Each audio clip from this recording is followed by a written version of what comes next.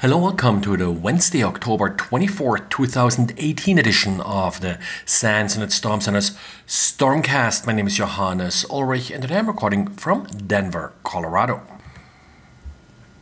Well, Xavier went hunting again, and in doing so, he came across some malware that uses simple base64 encoding in order to disguise itself, which apparently is sufficient to fool most antivirus tools, according to VirusTotal.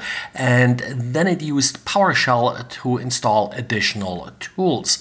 Now, the PowerShell script uh, did adjust itself for various uh, Windows versions, so whatever version of PowerShell PowerShell was available, it used. And then as a random bonus, it did download an invoice from an S3 bucket to sort of fulfill its claim that it was an invoice. So supposedly this is going to make the user feel safe. Now they know nothing about that invoice. It's sort of a very random invoice, but they just assume someone sent that invoice to the wrong recipient. Also, the invoice is displayed using the PowerShell start process command, which will use the default image viewer. So the user will see the expected image viewer for their particular system pop up to display this invoice. And then there's some pushback against DNS over HTTPS. The pushback comes from Paul Vixie. Now, Paul Vixie was part of the early development of DNS, also part of the bind name server. Now, his main argument is that DNS over HTTPS does bypass a lot of enterprise security mechanisms. Now, some people may say that this is exactly what DNS over HTTPS is supposed to accomplish. Now, Paul says uh, if you just want privacy, you can use DNS over TLS. DNS over TLS uses port 853, not port 443, so it's easier blocked in an enterprise network if this protocol is not supposed to be used. Now, in general, this is really one of the big conflicts I see coming up where these privacy mechanisms do hurt enterprise security and some of the legitimate ways how enterprises try to ensure that their systems aren't compromised. The real alternative here is better endpoint security, but we all know that endpoint security isn't really all that easy either, and network security, network monitoring, proxies, and the like are a really important important sort of part to the security puzzle in enterprises. I've been talking about this at some recent SANS conferences, and maybe in November I'll get around to record some webcast or something going over some of these protocol changes.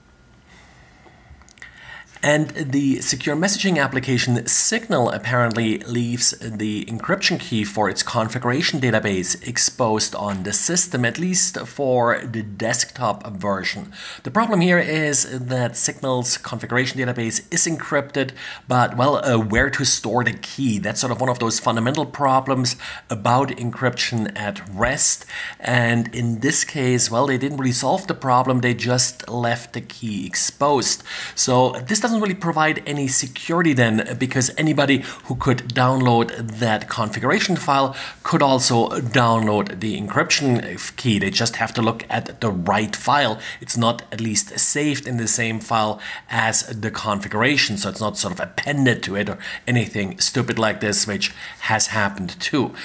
Now, the only real way to mitigate this is to ask the user to use a password that will then be used to either derive this encryption key or to encrypt the encryption key. And Firefox 63 was released with some interesting security changes. First of all, tracking cookies are now no longer allowed, which means that any website that's on a list of tracking websites is not allowed to set a cookie.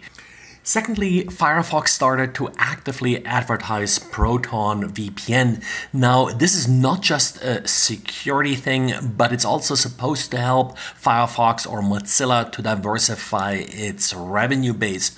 Right now, most of the money for Mozilla and Firefox comes from Google, which is, of course, a competitor. And the agreement with Google will expire next year, so they're a little bit afraid that Google may not renew. What's sort of interesting is that this advertisement for Proton VPN will only be shown at this point if you are visiting competing VPN services. There is essentially a list of websites that's stored in Firefox that triggers this pop-up. And then it will also be impossible to turn off auto update in Firefox starting with version 63. The configuration option no longer exists, so you will have to essentially update whenever there is a new version of Firefox being released. This was the default configuration for a long time, but in particular enterprise users and such that try to first test any new browser version before they release them to their users will be of course somewhat stuck here. Well, and that's it for today. So thanks for listening and talk to you again tomorrow. Bye.